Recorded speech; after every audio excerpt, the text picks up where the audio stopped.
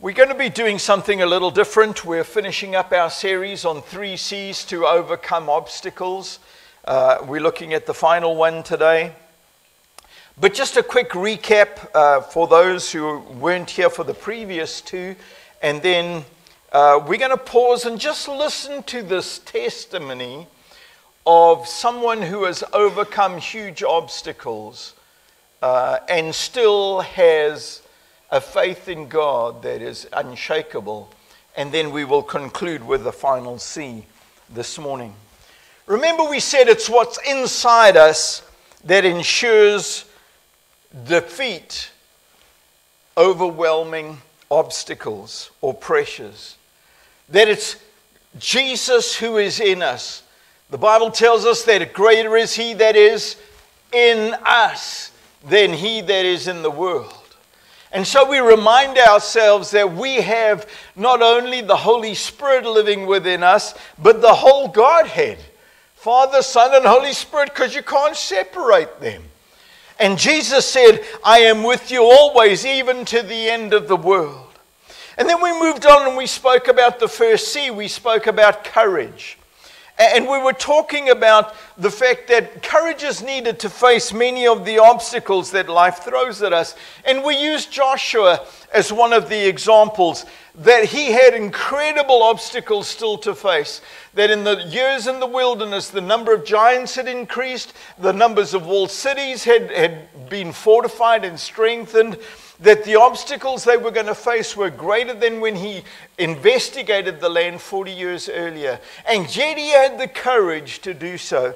And so we learn some lessons from uh, Joshua. We learn that we can be courageous because of God's promises. God has said to us that he will always be with us that his grace is sufficient for us. 2 Peter 3 9, uh, sorry, uh, 2 Peter 1, he has given us everything we need for life and godliness. He has given us everything we need. And we can take courage from that. Secondly, we can be courageous because of God's presence. If God is for us, who can be against us? Thirdly, we can be courageous because of God's previous works. And what we suggested was that we reflect on the things that God has done in our past, because the things that God has done in our past, He will do in our future. That God is the same yesterday, today, and forever. That God never changes. And what He has done, He will do again. And we can look forward to that. And so we can be courageous. The second thing we spoke about was character. And we spoke about Samson. Do you remember? Samson was a man who didn't have character. And we used him as a good example of a bad example. Sometimes I use you as a good example of a bad example too, but not today. Just Samson. And the lessons we learned from Samson were your character is shaped by the small decisions you make. It's interesting that the enemy never wants us to commit murder first up. He just wants you to dislike your neighbor firstly, and then it grows from there. And it's the little decisions we make, the things that we choose not to resolve. Your character is what God knows you to be, your reputation is what people think you are. When you go to a funeral service, you hear a lot about what people think about the person. Most of them are lies because you always speak well of the dead. But you know what? Sometimes you just got to tell it like it is. And that's what God does. God never lies to us, He always tells us the truth. The story of Samson is insightful because his breakdown in character didn't happen all at once. We journeyed with him through those little decisions right from the first time he was hanging out in a vineyard when he was a, a, a Nazarite and should have had nothing to do with grapes or anything to do with um, the fruit of the vine. And so it progressed from there right up until the end. And we said that people who play around in grey areas get a lot of attacks from the lion. And we spoke about the lion attacking him in the vineyard. But he slowly compromised to the place where eventually he tells Delilah that the secret of his strength is that his hair has never been cut. His strength wasn't in his hair, his strength was simply his devotion, his commitment to God that was symbolized by his hair. But slowly that had been eroded and eroded by the decisions he had been taking, the things that he had done. Eventually he gets to the place where he says to her, If you cut my hair, I'll be as weak as anybody else. So she gets the barber and gives him a baldy. And he wakes up, and the scripture says in Judges 20, when he woke up, he thought, I will go as before and shake myself free. But he did not realize that the Lord had left him. What a tragic place to be. So far from God that he didn't even know that he was far from God. And you know what? That's what those little decisions do in our lives when we choose to do things that we know are not right. One of the things I'd like to say to you is sin is never an accident, sin is always a choice. For the Bible tells us that when you know what the right thing to do is and you don't do it, that is sin. And what Scripture is simply saying is that it isn't an accident. It's a choice that you make. And we need to recognize that the little things lead to bigger things. And Samson, we saw, ended up in a terrible place, chained with his eyes put out. God's here bound, blind, and entertaining the Philistines. And what we said was gifting isn't enough, courage isn't enough anointing isn't enough, character is essential. And we remember the story of how, right at the end of his time, he looks back to God and says, God, I'm sorry. Give me strength one more time. Character can always be rediscovered. But you know what? It's through the hard times that character is fashioned and shaped. Things don't always go well. It's not like we're living in a bed of roses. There are plenty of thorns in that bed of roses. Life doesn't always turn out uh, to be what we planned. But you know what? If you have courage and you have character, you're far down the road to experiencing victory in your life. I want us to listen to the story of a man I know personally. I led him to Jesus Christ many, many years ago. He's younger than me. He and um, at that time, his partner and little girl turned up at church one Sunday. And the funny thing was, it was just him, his wife, his little girl, Meryl, and me. Nobody else turned up that night. So we invited them in, and while we were talking, the Lord said to me as clearly as anything, He said, These people have come because they want to get married in a church. They've not come because they're interested in me. And so I looked Derek in the eye and I said to him, You know what? You're only here because you want to get married. His jaw just about hit the ground. And he acknowledged the truth of that, and he had an encounter with God that changed his life and his family. Eventually, they were married. And he went on in leaps and bounds as he grew in courage and in character as he followed the teachings of the Lord. Some years ago, he was diagnosed with leukemia and has struggled on and off with it through many years. But this last year has been particularly difficult, and his um, resources were severely tried. Beginning of this year, Derek passed away to be with the Lord Jesus Christ. Um, it was uh, as a result of COVID and the weak immunity he had because of the um, leukemia that affected his. Uh, ability to fight. But listen to this, it's about seven minutes long. Listen to this man just before he dies and what he says. And just see his courage and character And you're going to see in his life the third characteristic we're going to look at as well. Good morning again, dear Glenridge family. It's Derek here. I can honestly say I genuinely miss you all and long to see you all again one day. Hopefully, that day comes sooner rather than later. Some thoughts. I am tired, Lord. I am tired of being sick. I am tired of being in hospital. It's been four times already, already in 11 months. Surely, Lord, surely, Lord, enough. I am tired of the sorrow and the loss around me.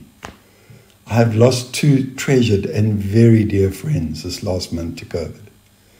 My one ultra close friend of 26 years, Lord. Someone I spoke to daily, sometimes five times in a day.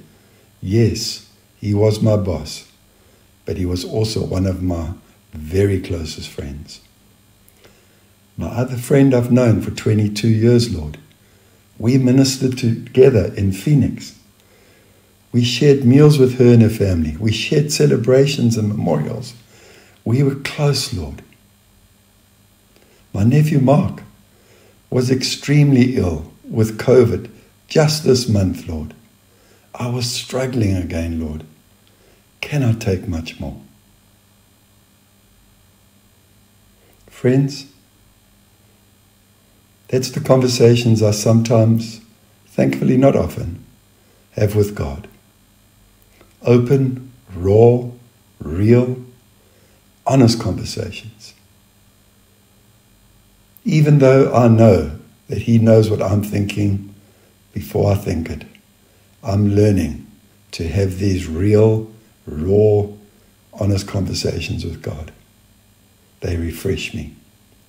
So long as you don't stay there because then we can consider Scripture. And let's look at Scripture together. In 2 Corinthians 13, Paul was aware of his very own weaknesses, but he was even more aware of Jesus' power. Reading from verse 9 in the NIV, it says, But he said to me, My grace is sufficient for you for my power is made perfect in weakness. Therefore, I will boast all the more gladly about my weaknesses, so that Christ's power may rest on me. That is why, for Christ's sake, I delight in weaknesses, in insults, in hardships, in persecutions, in difficulties. For when I am weak, then I am strong. The message puts it this way My grace is enough. It's all you need. My strength comes into its own in your weakness.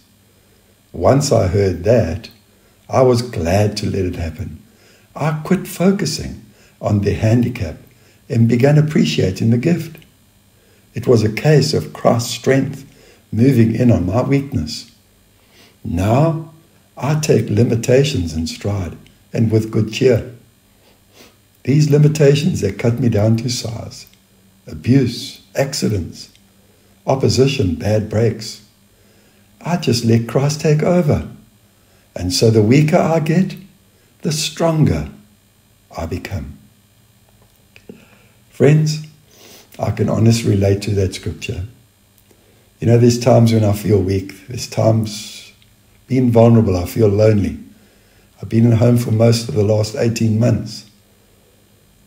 I've worked all day in a little office here in my house, pretty much on my own all day the last 18 months. There are times when I feel like giving up, although thankfully very seldom and for very short moments, but they've happened, they've come. You know that 2 Corinthians 13 scripture that I just read, it reveals His grace, it reveals God's grace. Authority in Christ is so often learned through weakness our very own weakness. Examine yourself first and get real with God about your faith. Be real and raw. Challenge yourself and allow God to reveal and open beautiful doors of victory in your weakness. Here's a poem I recently heard, which was written by a pastor in America named Chris Langham during a trial of uh, a, a, a trial of his. Faith. Faith is a fight, and I intend to stand. Though life strikes hard and doubt draws blood, I will lift my head and beat my chest, for I tend to stand. Hope. Hope is a rhythm, and I, tend, I intend to dance when the melody of God's promises fills the room and the reality of heaven awakens my heart. I will not stand at the wall, for I intend to dance. Life. Life is a story, and I intend to live it. Though chapters end and tragedy scars the page, I will persevere. I will read on, for I intend to live. Love. Love is a symphony, and I intend to play. Love is a passionate explosion of emotion and compassion, of laughter and joy, and tears of sacrifice, and heartbreak, and healing, and mercy, and kindness, and purity, and commitment, and determination. And the Holy God who puts an instrument in my hands and notes on my page and lifts his baton. Love is a symphony, and I intend to play. Death. Death is an end, and I intend to live on when this old heart slows and the sparkle in these eyes fades. I will stand anew with eyes aglow. I will lift them up to see at last the one who gave me faith, who gave me faith to stand and hope and to dance.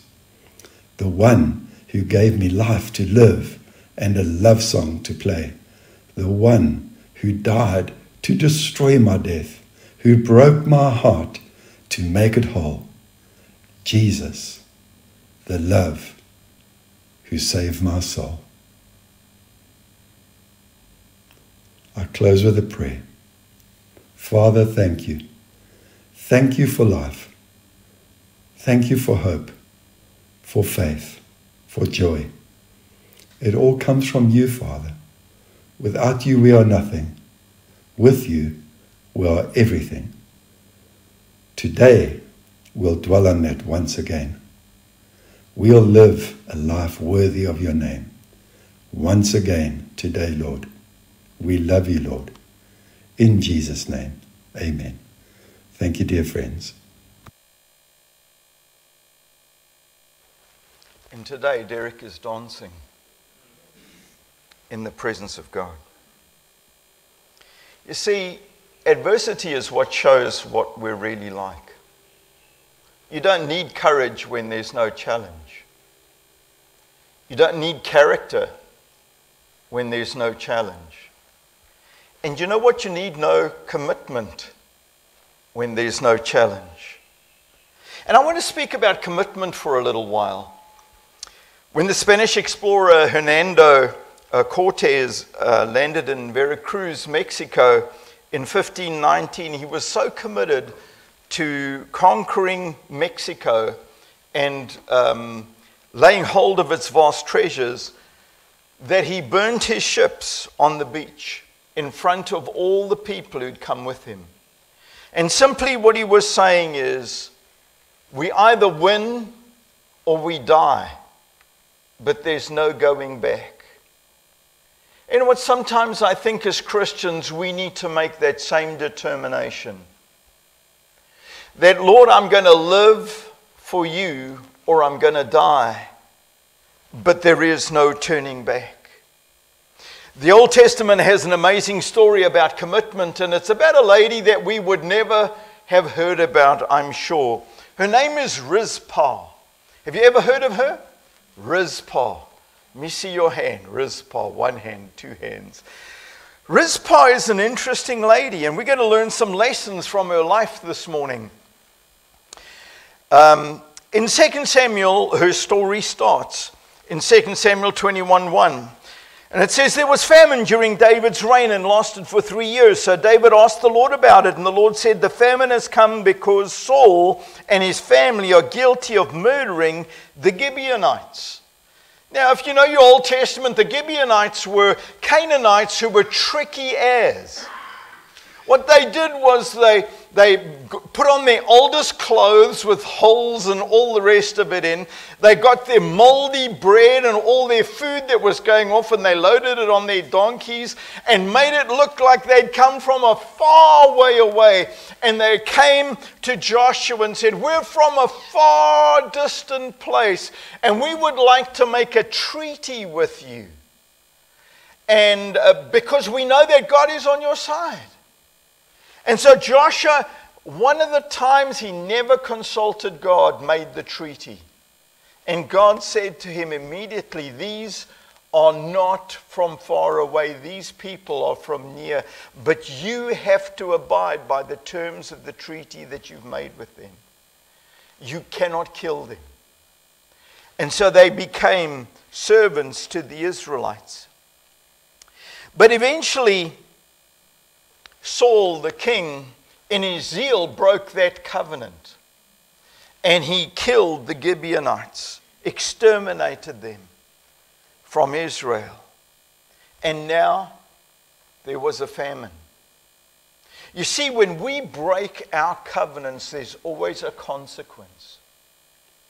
When we commit ourselves to something, it doesn't matter who or what it is every time we break our commitment, there is a consequence. So David is now king, and he goes to the Gibeonites and he says to them, How can I compensate you for the wrong that King Saul has done to you? And they didn't want silver or gold or anything like that. They didn't want land. They wanted Saul's seven sons killed and hung. Pretty raw justice. Consider with me the actions of Saul's concubine Rizpah. A concubine was an informal wife whose commitment and love for her sons eventually won through.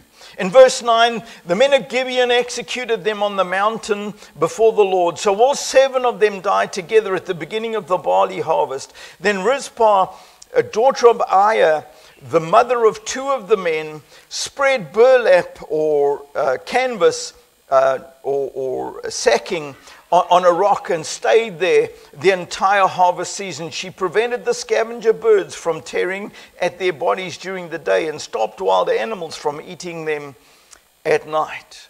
This mother, out of love for her sons and a desire to see them get a proper burial, put, on, put some uh, sacking on, on a rock.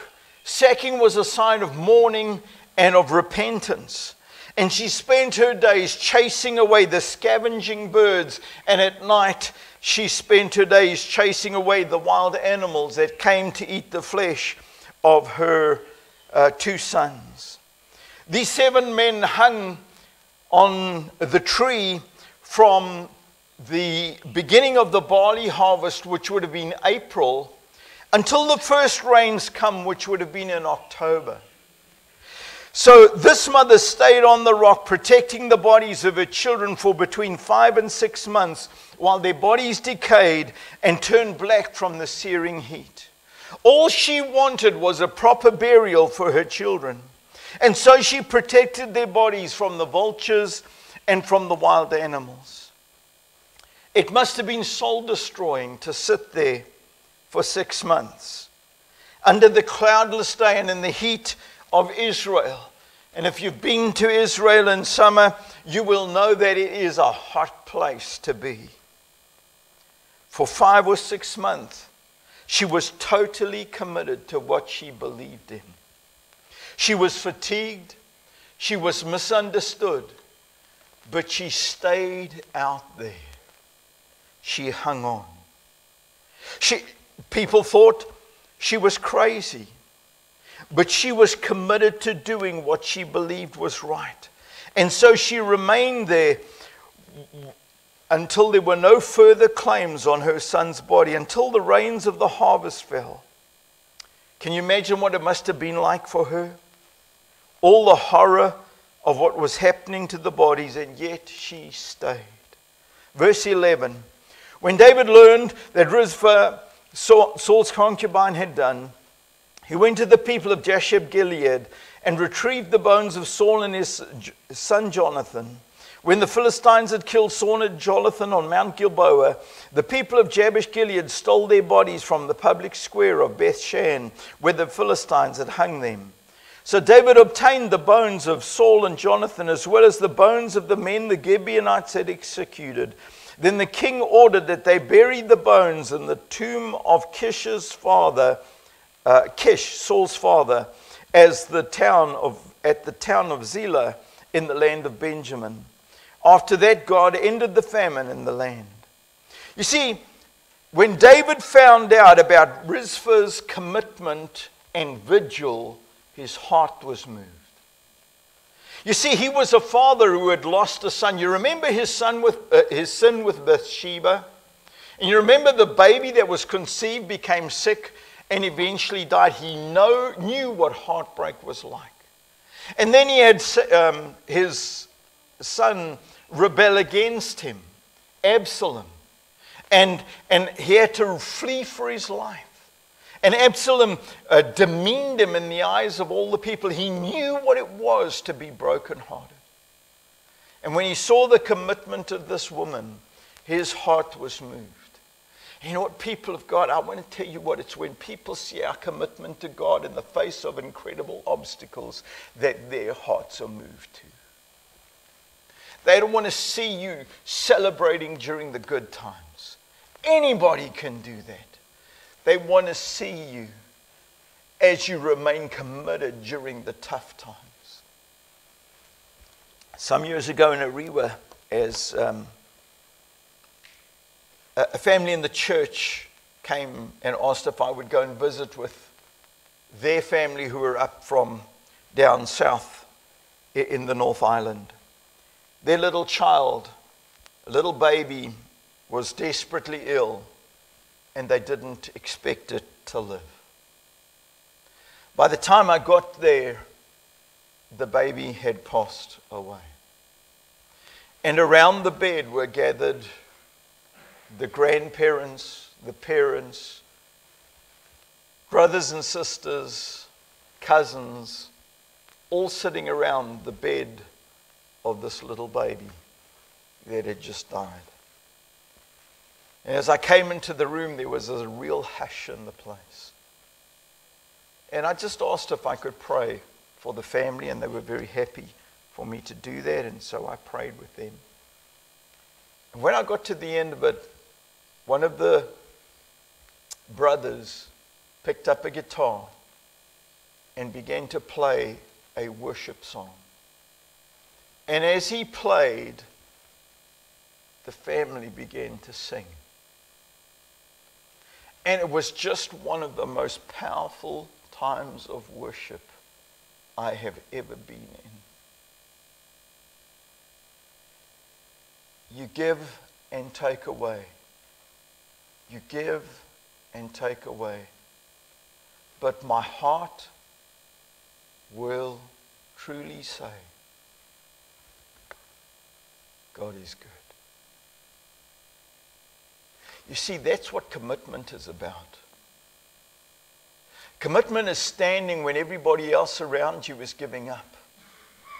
Commitment is, is standing when others are misunderstanding you. And as I looked at this, this woman guarding the bodies of these seven young men, I'm sure she went through misunderstanding and she went through boredom and she went through loneliness and must have gone through attacks and she must have gone through ridicule and humiliation and, and through blessings and through times of incredible fatigue. But she stood firm. And people of God, I want to tell you what, I believe that we need to develop a backbone again. That we need to learn to stand for what we believe in again. That we need to learn not to compromise in the face of the ridicule and the fatigue that so often comes our way as we stand against the opinions of people who don't know and don't love God. You see, it takes courage, it takes character, but it also takes commitment to stand in the face of overwhelming obstacles. A.J. Gordon writes It was seven years before Carey baptized his first convert in India. It was seven years before Judson won his first disciple in Burma. It was seven years that Morrison toiled before the first Chinese person was brought to Christ. It was seven years before Moffat saw the first evidence of the Holy Spirit moving on the lives of the Bechuanas of Africa. It was seven years before Henry Richards won his first convert at Banza Manteke. You see, what we're saying is we live in a world of, of instance where we want to see the answers. We want to see God come through. We want to see it all happen now. And God's plan and time is different to ours. We've got to learn to be committed. We've got to learn to stand firm. We've got to learn to refuse to give up faith. Even when we're facing insurmountable odds, God is still the same God. And we need to hold on. We must learn to commit our lives and our future into His hands. Remembering that He has said that He is faithful to God that which we commit to Him until the day that we stand in His presence. You see, commitment is one of the priorities in the Christian faith. You have to hold on to your passion and fire and not allow it to be quenched by anything, not allow your convictions to be changed by the arguments or the discussions or the circumstances. You know what? It's hard to keep your passion and fire going when you're surrounded by people who look like they've had a wet week. It's true. And many of the folk that we live among right now are going through some of the hardest times in their lives. They have very little to celebrate and very little to be excited about because of all the restrictions and difficulties that have come in their lives. And you know what? It's easy for us to be just like them.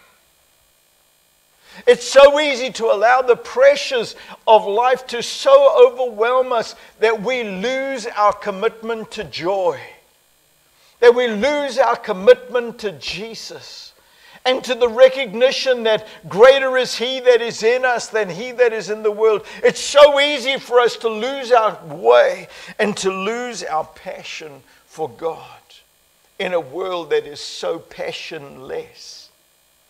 And that's why I tease you a lot about being New Zealanders. Because you come from good British descent and you don't ever do much about demonstrating your enthusiasm or excitement. It's sort of, yay, that's nice, that's good. I'm so pleased about that. And, and I just want you to know that sometimes you've got to let the fire out. That people want to see your commitment, they want to see your zeal, they want to see your passion for God.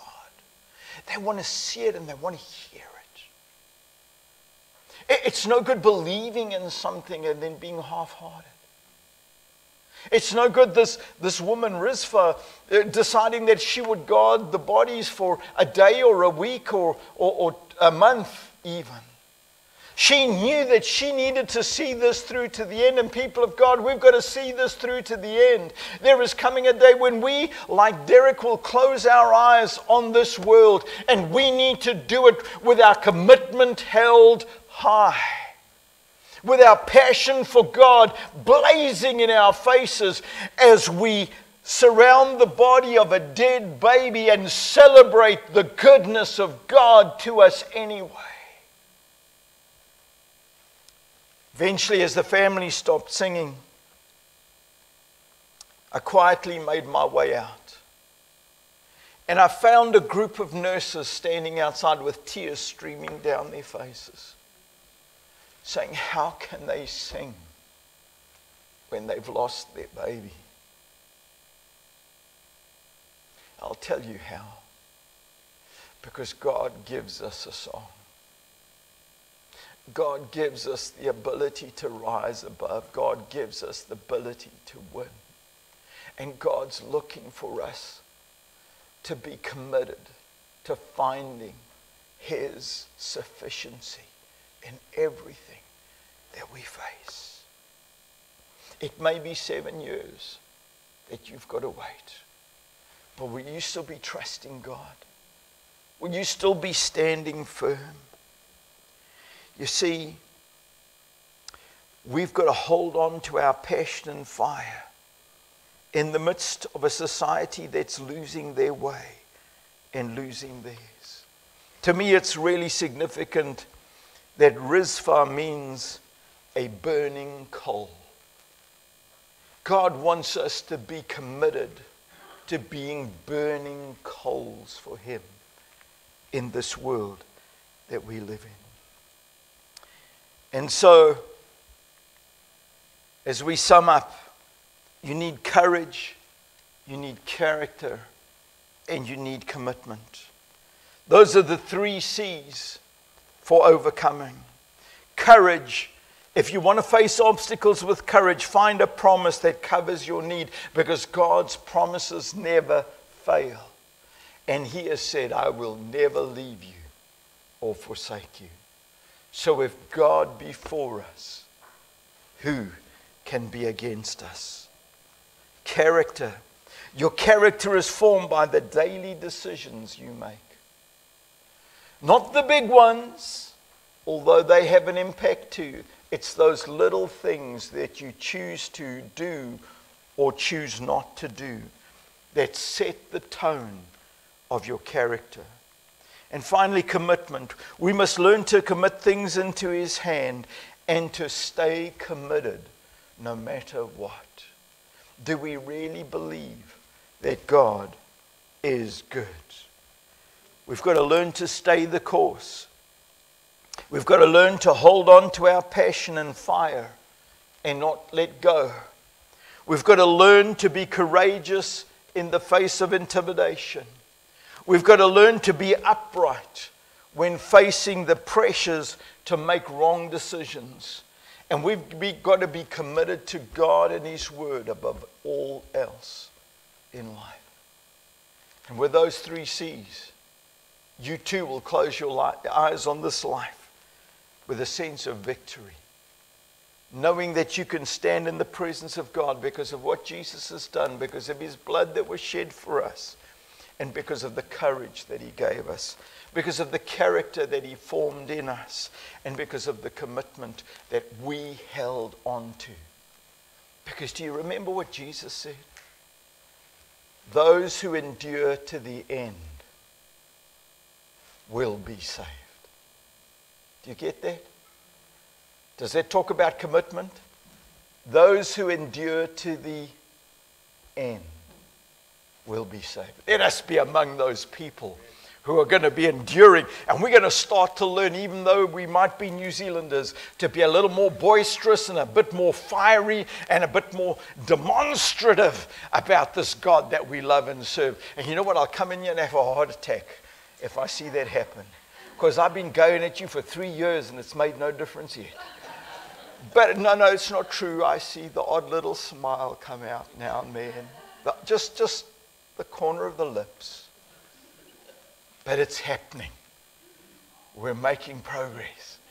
But you know what, people of God? We can face uncertainty because God has given us courage. God is working on our character. And because we're committed to the end of our lives.